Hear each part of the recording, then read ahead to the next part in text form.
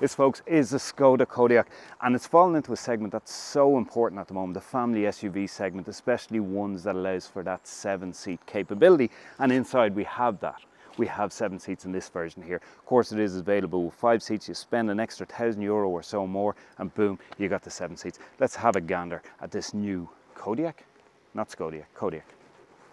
So Skoda are kind of what I'd call a generous uh, uh, manufacturer of cars, right? If you look at the Fabia, it's got a huge boot. If you look at Superb, it's absolutely massive. If you go for the Superb Combi or the Estate version, 660 litres of space, it's loads. Now I don't have the literage of this, but I can show you that with seats six and seven down, it is, it's vast. It's, ow, I hit my head. Okay, it's pretty big. These are on rails. They can be pushed forward a little bit more. Underneath me here are seats uh, six and seven. Let's go through some things that are in here, right? Okay, that's your parcel shelf, folks. Hangers here for you, can throw your shopping bags onto them if you want. You got this release. If I flick on that, it's going to push that down. Likewise, on the other side, same thing. We've got a 12 volt charger over here.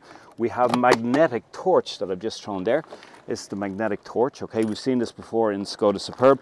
Okay, so what this is, is a tow bar release. Now, Tim, if you want to go back there, I'm going to pull this lever here.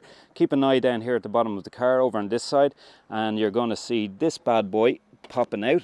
The towage on this is about 2,500 kilos or something like that. That's that's a lot of towing. Now, this, of course, is the four-wheel drive version as well, which means, you know, it'll take a little bit more.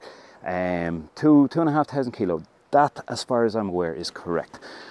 So do you ever do your shopping in Lidl, Aldi, Tesco's, Dunnes, wherever it is you do your shopping, right? And you have a sultry bag that's full of, let's say, fruit and veg, and they're all loose and everything else like that. Now, quite often it's happened to me where I'd come home and the shopping would be all over the back seat, it'd be everywhere. These little clever bits of Velcro and plastic can hold your bag in place. Great for the shopping. You would have seen before I was given out in my Peugeot 3 Tower Peugeot 5008 review and the link will be up in one of the corners here. Right, in that review I was given out about lack of headroom, okay, because of the panoramic sunroof because there's usually a casing just underneath the roof itself. Now that is not a problem in here. I still have another at least inch to spare up there even with that so that's absolutely fine. That's actually quite nice. We have Alcantara going on in here in the black. Nice stitching as well along the, um, the black seating here too. Of course we have the center armrest, cup holders and things going on there. That's great. Okay and over here we have unfortunately no USBs. We do have a 12 volt charger just there. There's another one in the back as well. Now it'd be nice to have USB charge charge points there because on the back of these seats and this was an optional extra with this car you have the tablet holders or phone holders or whatever you want to call them. I don't know I'm not up with the kids with all this kind of new gadgetry I'm not joking I love this stuff it's absolutely cool. Now I'm a huge Skoda Superb fan once again up in the corners here if you've subscribed to our channel before and if you haven't you should subscribe now. Uh, you'll notice we've done two Skoda Superb reviews at least.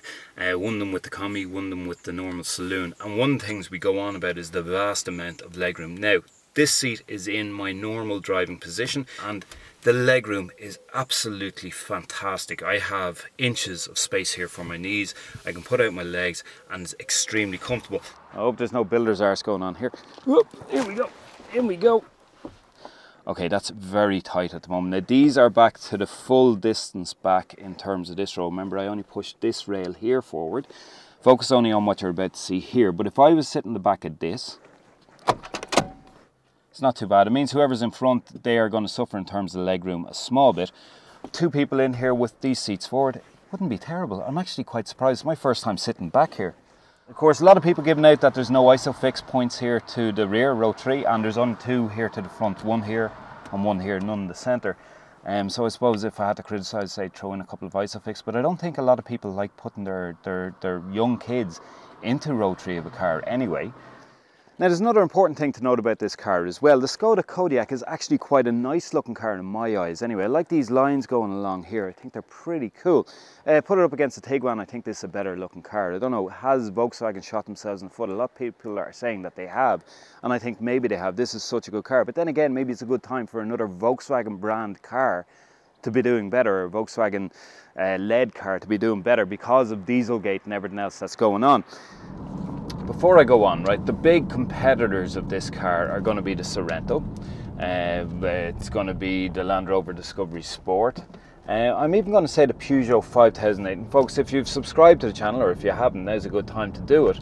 You'll see a link for the Peugeot 5008 review up here somewhere, which hasn't landed on our shores as of yet. Not including 3008, 5008, and this Skoda uh, Kodiaq, the big bear that it is are my two favourite kind of family SUVs at the moment. I think they're absolutely spectacular. Seven seaters, like this one I'm talking about, I really do think they're spectacular. Very different though. This is a very masculine looking machine, whereas I'd look at the Peugeot 5008 and say it's it's kind of more fashionable if you want, or possibly more feminine. I, I'm not sure what terminology I should use for that. But to drive, okay, so we've got this 190 brake horsepower 2 litre TDI engine going on here. We've got a 7 speed DSG box. Let's go with the DSG box first, okay, so I'm at slow speeds now. I find it's kind of slow to change gears. Uh, when you put the foot down with a bit of gusto, I definitely find it slow to change gears. When you're cruising though, you're not going to notice it, and if you're not driving with gusto, you won't notice it either. The engine the 190 brake horsepower engine is very good, and this four-wheel drive machine, so it does have plenty of power and you know, you, you don't feel at any stage that you're being sluggish. Now, there's also a 150 brake horsepower TDI engine available, as well as I think there's a 1.4 TSI engine too, 125 and 150 brake. I think the 125 brake 1.4 TSI is the entry level, right? And this is the big news about the Skoda Kodiaq. You can get all this fantastic looking machine without some of the options, like the screen wouldn't be as nice as it is in this for 28,795 quid. That is spectacular, and that's with that 1.4 TSI 125 brake horsepower engine. This one here we're sitting in is like 44,150, extra thousand for the two extra seats in the back. One thing I will point out is a bit of road noise coming in from that and as well as that we're wearing 19 inch uh, tires here so you're picking up a lot of noise road or road noise with that uh, entry level I think is going to give you 17 inch tires that'll possibly be quieter but driving it's what surprises me. Okay, so you got this good engine that's powerful, it's able to get you from A to B, no problems whatsoever. But you'd expect something like this to really roll on corners. And it does roll, but it's not bad at all. Like I mean, when you consider this, this is as big as your Sorento. When you consider that, you'd expect just a little bit more roll on those corners. It's actually quite refined.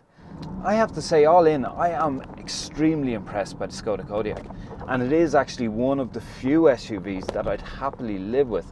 And now, in fairness, I can name three that I'd happily purchase at the moment. I'd go for that Kia Sorento. Um, I think uh, seats six and seven in that are absolutely brilliant. I'd go for this Skoda Kodiaq. It's just such good value for money. And then that Peugeot 5008, which is yet to land here. Now, of course, you're going to see all the reviews in the end screen of this.